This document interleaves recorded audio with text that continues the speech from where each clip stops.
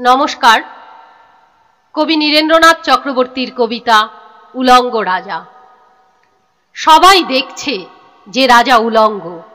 তবুও সবাই হাততালি দিচ্ছে। সবাই চেঁচিয়ে বলছে, সাবাস সাবাস। কারও মনে সংস্কার, কারও ভয়। কেউ বা নিজের বুদ্ধি অন্য মানুষের কাছে বন্ধক দিয়েছে। কেউ বা পরান্নভোজী, কেউ কৃপা প্রার্থী, উমেদার, প্রবঞ্চক।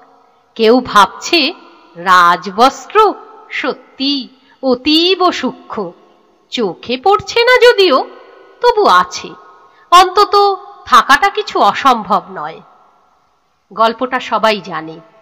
কিন্তু সেই গল্পের ভিতরে শুধুই প্রশস্তি বাক্য উচ্চারক, কিছু আপাদমস্তক ভীতু, ফন্দিবাজ অথবা নির্বোধ স্তাবক ছিল না।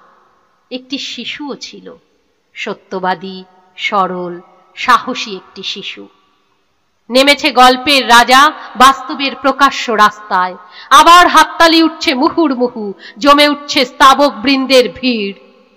কিন্তু সেই শিশুটিকে আমি ভিড়ের ভিতরে আজ কোথাও দেখছি না। শিশুটি কোথায় গেল? কেউ কি কোথাও তাকে কোনো পাহাড়ের গোপন গুহায় লুকিয়ে রেখেছে?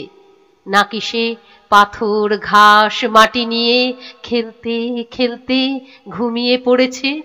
কোনো দূর নির্জন নদীর ধারে কিংবা কোনো প্রান্তরের গাছের ছায়ায়? যাও, তাকে যেমন করেই হোক খুঁজে আনো। সে একবার এই উলঙ্গ রাজার সামনে নির্ভয়ে দাঁড়াক। সে একবার এই হাততালির ঊর্ধ্বে গলা তুলে জিজ্ঞাসা করুক, রাজা, তোর কাপড় কোথায়?